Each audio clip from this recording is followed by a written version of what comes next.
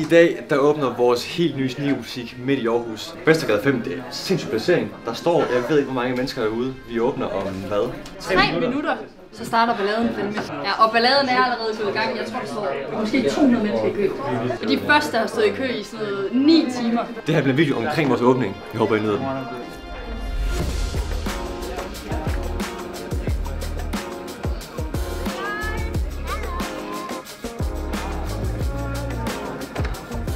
Hvor længe har I været her? 9 timer. 9 timer.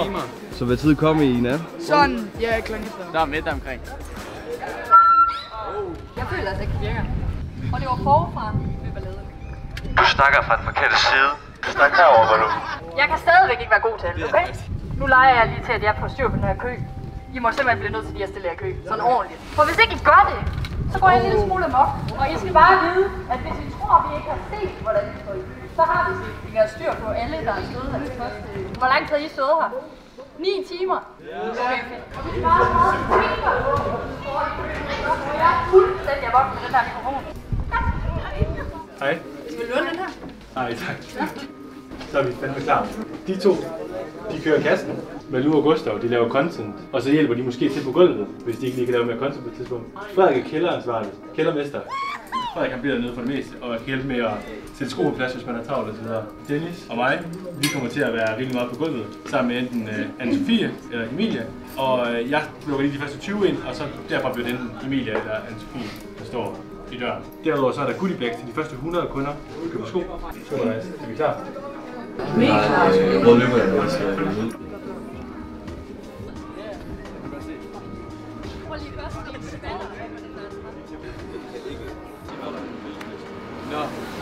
de første 20 kommer ind nu. 1, 2, 3, 4, 5, 6,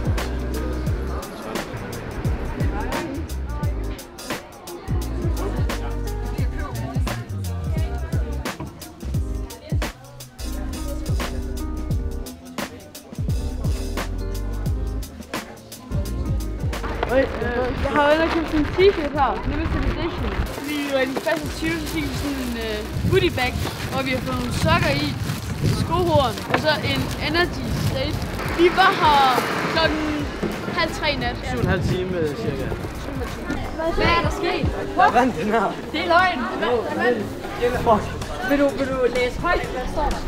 Tillykke, du har vundet et par gratis sneakers. Er du ryster helt? Er du bange? Ja, fuldstændig. Du må godt græde. Det vil være en fed video. Oh, fuck. Sagde jeg ikke til dig, at det var fedt, hvis du lige købte et par sko, så du kunne få den der med? Jo. Hvad har du købt? Jeg har købt uh, Air Force til blå mandag. Til blå mandag? Ja. Godt, vi kører. Tusind, der følte med til det der øh, lykkehjul. Det virkede ikke, så vi har været i panik rundt i byen, rundt i Aarhus, for at finde der virker. Nu er vi styr på det, så fra nu af, der kommer der lege, der kommer challenges, der kommer straffe der på, at vi skal lave øh, voldmad-content. Det bliver sjovt.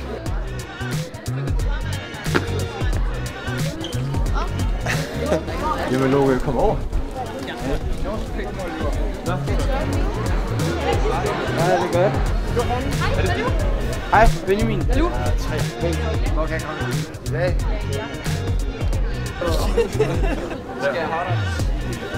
Nu skal vi til det. Af en eller anden grund, så er Logo i Aarhus i dag. Så nu håber jeg, at du rammer Chili. Chili. Fuck dig, baby. Chili beans. Ej, fuck, det stinker den der pose. Åh. Jeg tager en mere, den der. Jeg er fucking heldig. Lad os se, hvad det kan. Ikke god til det her. Ja, hvad?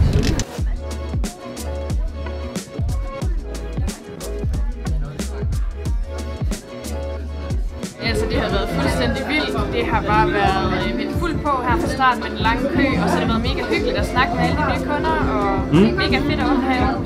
Vi har, vi har erfaring fra vores pop-up sidste år, at folk er vilde efter det her lykkehjul. Så nu har vi tænkt os at skrive en masse forskellige ting på det her lykkehjul. Så spinder vi det foran dem alle sammen, og så siger vi, det den lander på, den første der henter det, får en eller anden gave. Så må vi give dem, øh, give dem den ene brune Palais crewneck, eller vi give dem øh, Finder noget fedt. finde noget fedt til dem. Hvad skal, de, hvad skal, hvad skal vi skrive? Det bliver nødt til at være noget, der ikke er så nemt tilgængeligt. Også noget, vi lidt gerne vil have. Altså, jeg vil, jeg vil gerne have, gerne komme med en proteinkummi for eksempel. Vi har sådan noget, vi skal have sådan nogle random ting. Vi skal Ja. have... Det er løgn. Kunne du godt bruge en... Øh... Nogen skal finde noget hårlagt. Så er der nogen, der skal finde noget toiletpapir. Den er god. Den er god. Der må også godt være noget, der er lidt nemt. Sådan en nøgle. Det Kunne overveje i morgen, efter vi har set landskamp i aften, så lige lægger fod med en pose gifler. Jeg vil gerne have gifler. Det kører vi. Fint. Skal vi iskaffe på? Du skulle ikke lide iskaffe. Nej, men jeg skal jo lære at drikke kaffe, og, og, og hvordan gør man det? Iskaffe. Et æble. En cykel, står du ved? Ja. De kan, de, de kan ikke komme med en cykel. ja men jeg tror, det bliver sjovt. Der er mega mange børn inde i butikken, der har ventet på, at vi skal gøre det her. Så lad os gå ind og se deres reaktion på... Øh, Men må jeg lige sige en ting? Det er jo faktisk ikke så godt, at de ser det hele her på, fordi sådan kan de jo nå at forberede sig. Hvis I gerne vil vinde en brun palækfunik, så skal I være for hurtige til at vinde der. Vi har skrevet 12 ting ned her på. Når vi spinder, det er den lander på. Den første, der kommer tilbage med det, det løb løb den her vej. Klar? Plante. Den første, der kommer tilbage med en plante, får en gratis palæ. Nå, lad os se. Her! Tæller det? Skal det ikke være en hel plante? Tæller det? Jeg føler, jeg føler ikke, det er det tæller. Nej, nej! Godt forsøgt. Så det er hurtigt, mand. Det er en god tid. Tillykke. Får du den? Det er hurtigt. Vi kan lave, vi kan lave en mere. Den første, der kommer tilbage med den lander på, får en gratis trøje i egen størrelse.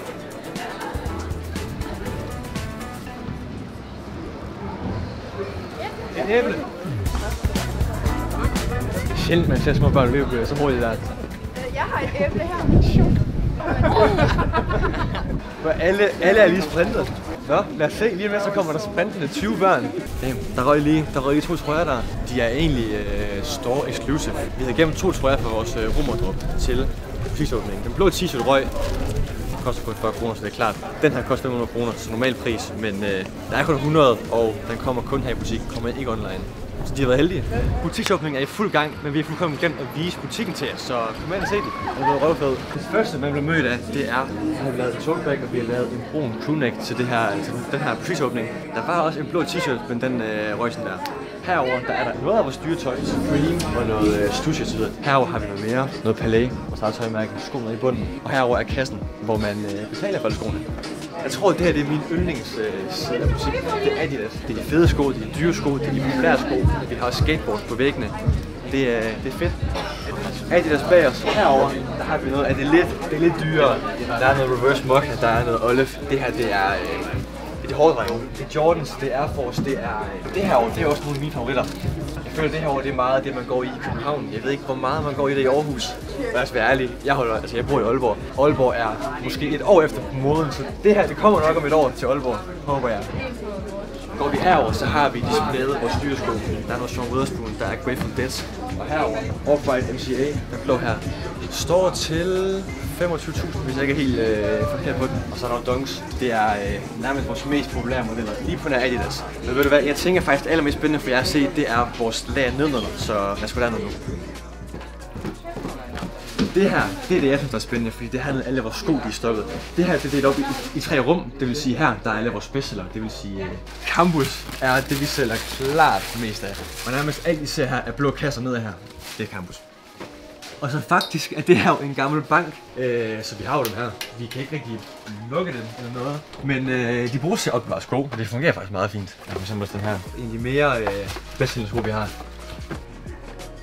Og kommer vi herind, så er der endnu flere sko. Vi startede faktisk for kun en uge siden cirka med sådan at prep det. Så de seneste fem dage, der har vi arbejdet nærmest døgnet rundt på at lave reolerne for vores lagersystem op køre. Butikken var jo ret pæn faktisk, så vi har faktisk ikke lavet ret meget. Det, det var sådan forholdsvis nemt. Herinde der har vi en masse af de dyre sko. Som vi så før, så er der noget Travis her. Det er faktisk en Travis golfsko. Virkelig, virkelig, virkelig mærkeligt, men øh, meget fedt. Jeg ved ikke, hvor mange der bruger dem til at spille golf. Jeg tror også, det mest spændende, det er, når vi kommer hele vejen herned. Her der har vi en øh, reol heroppe med de dyreste sko, der er i butikken. Der er for eksempel her et par Jordan 1 High Union. Jeg tror, de står til øh, 15.000 cirka. Det er det et af vores private brugte par, fordi vi bruger dem selv. Det er Lasse, der ejer dem. Og Lasse, han ejer sjovt nok også det andet par her, som er de, de helt dyre, vi har. Et par Jordan 1 High Fragment, og som I kan se, de er brugte til Lasses private par. Øh, og det ligner jo egentlig bare en helt normal Jordan 1 High. Men det her lille Fragment logo her, det øh, gør så bare, at prisen den lige er lige lidt dyrere. Jeg tror, hvis de er helt nye, tror jeg godt, man kan få måske 50.000 på dem. Hvis folk køber sko, vi har på ladet hernede, skal de også pakkes. Det vil sige det her over, hvor der faktisk er frokost lige nu, der øh, pakker vi normalt skoene, vi skal have sådan ud her. Og vi har jo valgt at gøre det i Aarhus, fordi vi har allerede butikken i Aalborg, øh, som er i forlængelse af vores lager. København er måske lige stor, stor nok til os. Og så Lasse, vores tredje medejer, han bor faktisk allerede i Aarhus, så det var oplagt, fordi vi har allerede et kæmpe netværk her. Så øh, det er egentlig grunden til, at vi har valgt Aarhus. Men prøv lige at komme med her i det sidste rum, fordi herinde, der er der gemt faktisk primært Adidas. Der er, der er virkelig mange slides her. Det er jo sådan noget, vi erfarede til vores øh, pop-up sidste gang, at folk var ligeglade med, hvad farve sliden den var. De skulle bare have de her slides. Det var fuldstændig sindssygt. Folk de kunne bare bede om det. Så øh, den her, der har vi lyttet til, og vi har købt sindssygt mange hjem til det. Der er også herover, og så har vi... Der er jo mange kontroversielle holdninger om de her foamers. De er behagelige at gå i, kan jeg afsløre, men flotte, det må I uh, diskutere i kommentarfeltet. Det, det ved jeg ikke, det kommer til jeg ikke selv på. Der er sikkert mange, der tænker, hvad er planen på den her butik i Aarhus? Og skal jeg være helt ærlig, jeg ved det faktisk ikke. Øh, det store problem ved os med Sneakerstore, det er, at vi vækster sindssygt meget. Vi har flyttet kontor tre gange. Vi har en butik i Aalborg nu. Nu har vi også en butik i Aarhus. Går det helt godt? Kommer der en butik i København? Vi, jeg, jeg tør ikke sige ja, jeg tør ikke sige nej, jeg ved det faktisk ikke. Men nu må vi se, det er åbningsdag i dag. Jeg fornemmer, at folk har taget godt imod det. Lad os se, hvordan det ser ud om en uge i Aarhus, en måned i Aarhus. Og øh, så tror jeg, at vi tager det, som det kommer faktisk. Tusind tak, fordi I ser med i den her video. Hvis I får muligheden for at besøge vores butik, så er adressen lige her. Det er Vestergade 5 i Aarhus. Jeg synes selv, det er en røvfed butik, så øh, på, hvis I kommer ned, sig hvad jeg synes. Tak fordi I ser med. Vi ses.